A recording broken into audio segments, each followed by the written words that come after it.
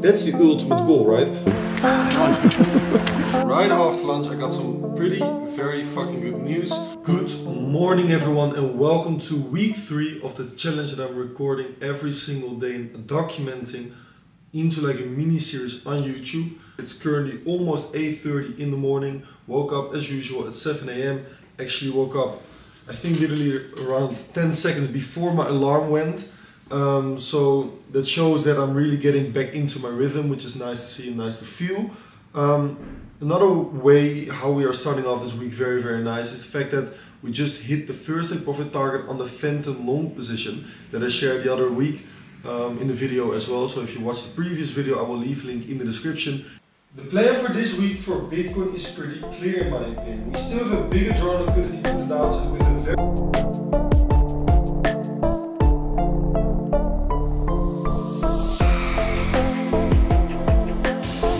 guys might be wondering why I'm sometimes cooking shirtless, well actually always, because otherwise the smell of the of the food is like getting into my clothes and, and that way it doesn't really smell that nice to be very honest. So I just try to prevent that by cooking shirtless. And also when you cook shirtless you just you just feel like a G, you know? so once more guys, same day, similar lunch. We got the ground beef grass fed, we got some beef liver over here as well grass fed, two pasture-raised eggs, some sardines and some kimchi. Honestly, it tastes really, really good. I really love this kind of lunch and I almost eat it every single day throughout the week and then during the weekends I just eat whatever the fuck I want and it works very, very well for me. Okay guys, it's about an hour before the New York Open. I'm currently looking for a potential brand new long position on Bitcoin as you guys can see. I just closed the Fantom position for a total of about a 1R gain on the account, which is lovely since it was a weekend trade. So beautiful, beautiful work for a weekend. I'm looking to use some of those profits onto this Bitcoin trade. What we are currently looking at is that we have the weekend high over here that is unswept. Something that you have to realize as a trader, in case you're trading crypto, of course, is that these weekend highs and weekend lows and these weekend moves that we see over here, they often get retraced and swept.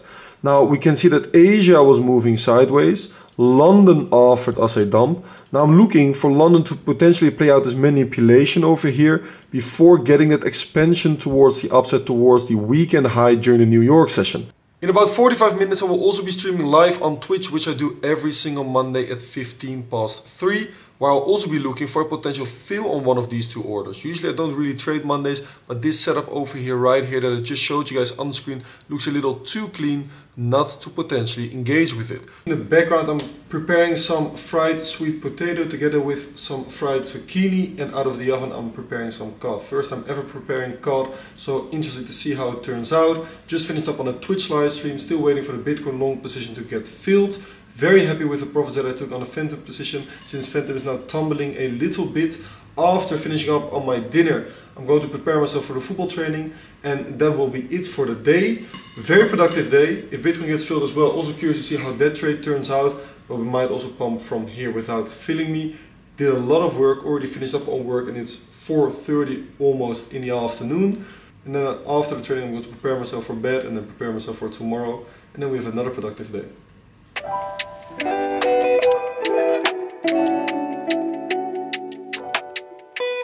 Good morning everyone. I had a very very busy and very hectic morning. It's currently 15 past 10. Already did quite the work, already put in a live stream, already reviewed the trade from yesterday on Bitcoin that I will show you guys in a little bit and already filled in new Bitcoin orders just yet as well. Um, later this afternoon I'm having a coffee with one of the members actually that is in Amsterdam today wants to meet up and have a coffee so I'm going to do that later this afternoon. Charted it once again earlier this morning live on stream both the statistics and also my technical analysis are currently showing that in my opinion there's a higher probability of continuing higher for the day and maybe also for the week. Um, but in order to position myself, I need first a bit of a pullback into this POI that I marked out where we have this previous bearish fair value gap that is now turning into an inversion. And inside of that inversion, we have this bullish hour 4 fair value gap with a few low time frame breaker blocks as well. Yesterday, unfortunately, which was very, very, very unfortunate, we got front run by a few pips on that massive long position that I shared in yesterday's recordings as well. As you can see, this is very, very, very close front run over here and afterwards the price pumped straight to our take profit target. So once again, bias and analysis were right, but the execution was a slight bit off, which unfortunately is quite um, let's say unfortunate, but it's part of the game as well as a trader. It's now 15 past 12. I have about 30 to 45 more minutes to put in some work over here at the home office before I'm going to have a coffee with Yuka, who is a, a follower and, and, member of several communities in the space and also slowly turning to full-time trading and he's Dutch. And he asked if I uh, would be open to have a coffee with him and obviously I'm always open to, to have coffees and, and meet up with members and followers. Um, as long as they come across uh, trustworthy, of course, but he definitely does. So I'm excited for that to have a coffee with him and just yeah chat a little bit about trading and and, and, and that kind of stuff. Um, and then afterwards, I'm gonna put in some more work. And then tonight, I'm actually going for dinner with my mom, my father, um, my little brother, and Keanu and Steye, my two best friends. So that's going to be a blast for sure. Um, really, really looking forward to that. Um, so lovely day so far, and this is obviously also showing like the, the, the, pros, right, of online entrepreneurship and full-time trading, that kind of stuff. I get to schedule in my own day. Like my mom just called me and she was like, hey, I'm in Amsterdam in about 15 minutes. I'm going to have brunch. Would you like to join me? And I was like, yeah, let me put aside all of the work that I have to do because I can do it later on today. Um, let me reschedule a few things and I'm, I'm coming straight away. Of zo, even was kijken wat Ik heb nu wel eens de derde week die vriend niet zo koud heeft gepakt. Van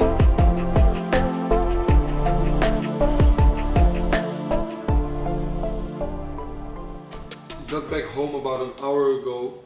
Um, in about 45 minutes, the New York Opens uh, is, is, is, going to happen, right? And during that time, I want to be behind my screen more often than not because we have a lot of volatility around that time. And our Bitcoin long order might get filled around that time. So that will be interesting hour or so during the New York Open. Um, was nice meeting up with Yuka. Um, had some really lovely conversations. I think it's a good example of someone who has been in the trading industry for about five years now, is in between going full-time trading and, and quitting his job or remaining with his current full-time job and just part-time trading. I think a lot of people at some point come at that crossroad where they have to take the leap of faith and quit their full-time job to go with full-time trading, which is obviously a big struggle for a lot of people, and I completely understand that. And what I would always recommend, and what I also told you guys, that always make sure that you have some sort of steady cash flow, either from a part-time job or or from like a, a, passive source of income or anything like that before you really go full-time trading. Because once you go full-time trading, you have to start paying the bills with trading. There's an extra psychological effect that comes with it as well, right? So we had some interesting conversations for sure. Really, really nice and lovely guy, um, for real.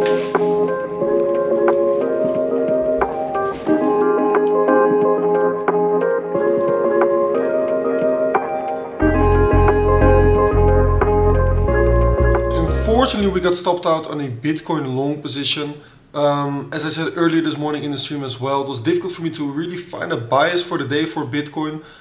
Unfortunately, I probably should have stuck with my gut feeling that there was no proper bias for the Bitcoin uh, trade at, at, at, at, that point in time in this morning. Um, currently, actually, right before I'm leaving to pick up Kiana and to go for dinner, I'm also entering a long position on BNB, which I also charted earlier this morning. And that one has been following the plan to perfection. So now anticipating that plan to be completed later today where the statistics are showing that there's a high probability to form a new high for the day that there's a decent probability for the daily low to hold and we are looking at a low time frame accumulation manipulation and distribution pattern. So we are currently positioned in this long as you can see over here during the day BNB was accumulating. Right now we have seen a move below that accumulation range over here and we have seen a strong reaction so far reclaiming that previous reaccumulation range now I'm hoping for potential distribution higher towards that high time frame buys and liquidity. And as a first target, these relative equal highs over here for BNB as well. That should also be a draw liquidity. As you can see, we market entered over here. So far, we are in slight profit. That doesn't say much yet. I'm hoping for continuation over here for BNB. If this trade is going to play out the way that I want it to, then it should lock in approximately 2.8R, which should make up for the Bitcoin loss and offer us some beautiful profit. If we are going to take a stop loss on this one, unfortunately it will be two stops for the day and I will take a break from there, but hopefully this one is going to run to profit. What are we up to, my friend? We're going to have some dinner with your mother and your brother and our very good friend. best friend, Staya. Yes, sir. Raising.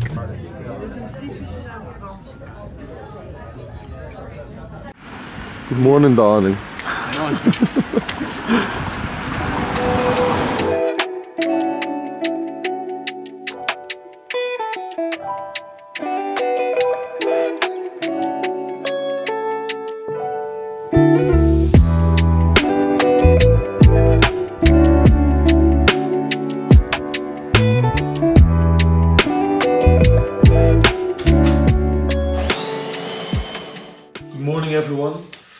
So, first cup of coffee of the day. Already did the morning routine. Already did a bit of work.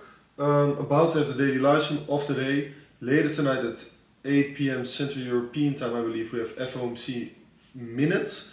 Um, so I'm expecting a bit of a choppy London session and also expecting a bit of a choppy New York session. I, I am seeing a bit of a short setup on Bitcoin, right? Actually, pretty clean one. But I think I'm gonna have to wait with inserting these orders because I'm expecting weird price action before the FOMC meeting and then also apply the 100 and 200 EMA a 4 hourly time frame. We can see that this is not looking too bullish right now. Yo, vriend. Hey jongen. Het contract voor de nieuwseizoen kunnen regelen vanaf september. Dat we ook kunnen ondertekenen zetten. Oké, is goed. Okay guys, so a bit of a chaotic morning. Um, just done a meeting with Declan and Aaron, who are two guys from Scotland who I'm, I don't know, I've been mentoring Declan for a while now. He's now profitable on his own as well, so I'm not really mentoring him that much anymore. But I told him about the statistics dashboard and they were very, very interested in that as well. So I explained the dashboard a little bit to them and I've been, I've been teaching them a little bit about it earlier this morning during a session together with them, they're two proper lads as well, so it's always really fun talking to them and, and all of that. And then afterwards, I was talking to uh, to Ilko, who's uh, one of the guys from the Unpackers podcast. Like I said, we are trying to plan one with Folies. Pretty hectic, um, trying to plan everything. Bart is on holiday. Jorn might be going on holiday tomorrow uh, on Friday as well, so we don't know yet if we are going to pull this off actually. So we were discussing the plans for that as well. Um, and right now I need to do some updates and, and, and, and some charting and some updates on Twitter and need to record something for, for TikTok as well. Just got back home from the coffee, made some lunch and right after lunch I got some pretty, very fucking good news. Um, the podcast with Folies is a go, just book the studio. We know that Joran, our videographer and, and, and CMO will be there. Ilko will be there. Unfortunately, the other host of the Unpackers podcast, Bart, is still on holiday. So it will just be me, Ilko and also Folies talking about a bunch of stuff. We still have to prepare everything, all of the topics, all of the questions and all of that. Um, that is something that Ilko and Bart will do and I will talk about and discuss that tomorrow with Ilko. Um, so we'll pick up Folies Friday afternoon around 2 p.m. in the afternoon. Drive to the studio, record the podcast, drop him back at his hotel because at, uh, at night he has an event um, or dinner or something like that. But yeah, like I said, very excited for this one. Can't wait to share this one with you. Um, excited to meet him as well. Seems like a like a proper nice guy. So can't wait for this actually. So right now what I am going to do is I want to surprise him with a little gift. Uh, I know that he's from Ireland. I know that Irish people like a good whiskey. So I'm going to, to the store now to get a good Irish whiskey. At least that's what I'm aiming to get. Um, as a little present for him and I also need to get the champagnes for the um, office warmings of both Mikael and also of Bybit. So that's what I'm going to do next. And then afterwards I'm going to go and look at some more charts and see if we can find any interesting setups during the New York session. Okay guys, the New York session started about 30 minutes ago. I've done everything I had to do for the day. So I was looking for another setup and I actually found a pretty interesting one potentially on AVAX. Both my technical analysis and the statistics are showing that there's a high probability for continuous upside for the day. Over here on the right you can see the setup that I'm looking to enter on AVAX and the limit orders that I have set for this one. And then on the left in the VIP channel of our Discord server, I have uploaded a video explaining the entire setup, both with my technical analysis and also with my analysis based on the statistics, okay? So to always educate the members on why I'm entering certain trades and to make sure that they do not only profit from the trade ideas and the signals, but at the end of the day, my goal is for each and every member to turn profitable themselves so that one day they don't need me anymore they just still want to hang around, obviously, in the community because that's that's my other main goal to to build the strongest community out there. But then one day they don't need my signals anymore, they don't need my education anymore, and then they get to have their own channel in our Discord server where they can share their trades, like Flow is doing, for example, right now. That's the ultimate goal, right? So I would never ever just provide trade signals and not explain anything about those signals, right? Usually I enter most of my trades during the, the morning stream, but early this morning during the stream, I didn't chart a setup for AVAX. I found this setup later, right, a few minutes ago.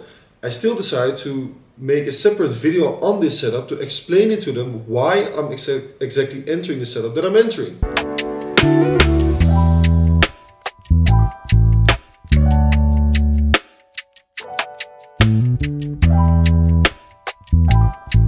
Guys, for dinner tonight, I'm actually going to prepare a wild sockeye salmon um, from Alaska. This is, in my opinion, how a true salmon should look like. So not farm raised or anything, just wild caught salmon. Um, I'm going to prepare this with, once again, some fried uh, sweet potato and some fried zucchini. So once again, very simple meal. Oh, ja, dat, dat zei ik niet mee, maar ja, oké. Okay. Maar verder gingen wij wandelen zaterdag. Okay guys, lovely way to end the day off with a training session and coming back home from the training session, seeing that our AVAX long position hit the first profit target. So that's a lovely way to end a lovely day. Right now, just quickly updated the members on the position, updated on Twitter and in other Discord communities that I'm active in, that the first profit target has been hit, stop loss at break even, risk-free position, um, about to have a shower, or actually I'm, I'm, a, I'm gonna take a bath, and then after the bath I'm uh, prepare myself for bed going to bed at around I don't know probably 11 11:30 and then afterwards I'm going to sleep. And then tomorrow we have another day. Maybe we we wake up with another take profit on AVAX otherwise we are going to for some new positions tomorrow after the morning routine